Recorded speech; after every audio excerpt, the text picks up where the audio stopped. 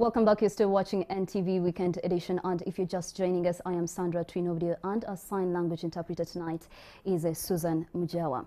Well, as we continue to reflect on the enthronement of Dr. Samuel Stephen Kaziimba Mugalu as the new Archbishop of the Church of Uganda, we found it necessary to consider what the job will entail, especially the challenges involved in the work as head of the Anglican Church. And that is why in our studios tonight we have a priest of this church, and that is a Reverend uh, Dr. Reverend uh, Grace Lubaale, who's also a senior lecturer in teacher training at Kyambogo University. Welcome back to NTV. This is the second time we're having you in our studios. We're glad pleasure. to have you. It's my pleasure to be here. Yes. Mm. Most importantly, I want to start by asking you how long you have been in the ministry. Uh, I became a priest in 2008, Mm, so that's 12 years. 12 years. Mm, But I was a preacher before. Mm. Mhm. So we And my father is a priest. Okay. So anyway, tomorrow is going to be the enthronement of uh, the new Archbishop of the Church of Uganda, is Mhm. it? We would like to hear your thoughts on on what you're looking forward to seeing. First and foremost, I congratulate him, uh, the right, right Reverend Dr. Kaziimba. Tomorrow at about 12 o'clock, he will become the most reverend. Mm. So he's true, the right reverend will be the most reverend. There is one archbishop at a time in a church. Mm. so will be the archbishop. So I congratulate him and uh, look forward to working him as our senior head. Mm.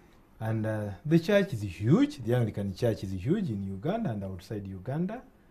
And uh, he has a lot of work to do. He has a lot of work. Talking about uh, having a lot of work to do, people watching us tonight and even myself would like to actually have you highlight one of the issues that I know the church faces, and that is the relationship they have with the government. What exactly should he do to maintain the balance? First and foremost, the job description of the archbishop is known, Mm. and the position of the church and the state are also known. So his task is to ensure that he does his job well, and the, the church lives in a state. So he must, the church must work with the state in all matters lawful. Mm. There, are such, there are some sections of the public uh, that have, on several occasions, made a few comments saying that the church should stay, you know, it should do its own part, which is, you know, serve religiously, not involve itself in political matters.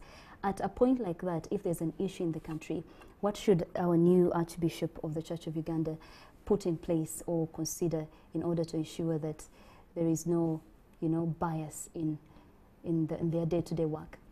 The church has a duty to communicate the truth in society. Mm. Part of the work of a priest, of a bishop, of an archbishop is to communicate the truth. So when the government is in error, when there are wrong things, the church must come out. It's called a prophetic voice. So Mm. part of his work is to communicate to the state what is correct. And what is correct is only correct. Mm. And therefore, the state has a duty to ensure order, security, provide services, and the church has to comment that the state is either doing them or not. It's part of his work. We are talking about organizing elections. The church has to say they must be lawful, legitimate, and organized well. Mm. Th- That's part of his contribution. And uh, he must endeavor to make that contribution. Do you think, from your own perspective, there are challenges that he's going to encounter firsthand after entering office tomorrow? Yes, the church has 37 bishops, has uh, 11 million followers. There are many priests. There are many issues he has to handle.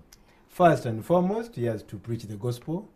He has to. You, we are finishing. There are many church projects he has to handle, and the church at hand has today in Uganda. We speak. The, the Constitutional Republic of Uganda guarantees freedom of worship, and so people worship. Uh, they have the right to worship as they so wish Mm. which I subscribe to. In the process, uh, when you have a right, you have a responsibility. Quite often, people want to enjoy rights, but they don't want responsibilities. So he has a duty to communicate in Uganda, a pluralistic society, what is correct, so that the followers and other Ugandans know the truth from time to time.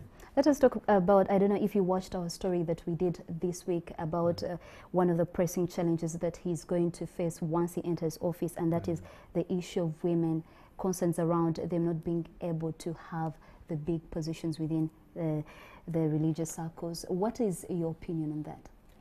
In the church, there are four ways we get a truth, the truth. Mm. First is the Bible. We make a reference to the scriptures. Okay. What does scriptures say? Second is apostolic tradition. Mm. What did the early bishops decide?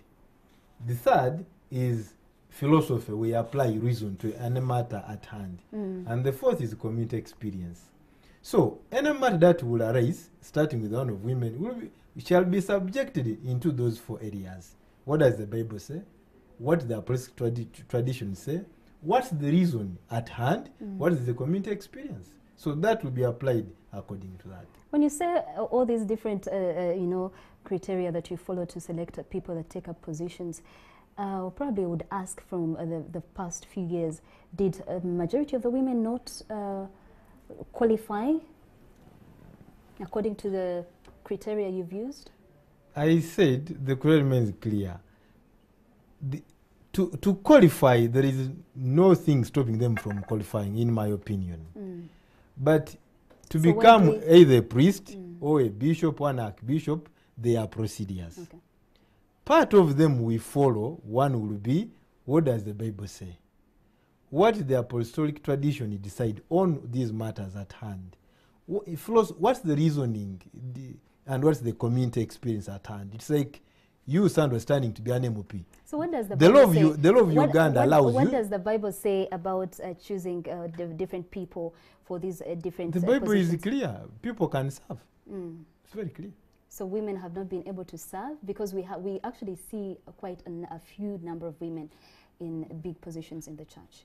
There's true few, but I say the Bible is clear. They can serve. Interesting, interesting, Dr. Grace. Mm. Well, I'll also point out an issue that Mm. people tend to talk about, and that is uh, young people sort of running away. So we, we are sort of seeing an unprecedented number of, of people running away from the church to other, you know, uh, breakaways.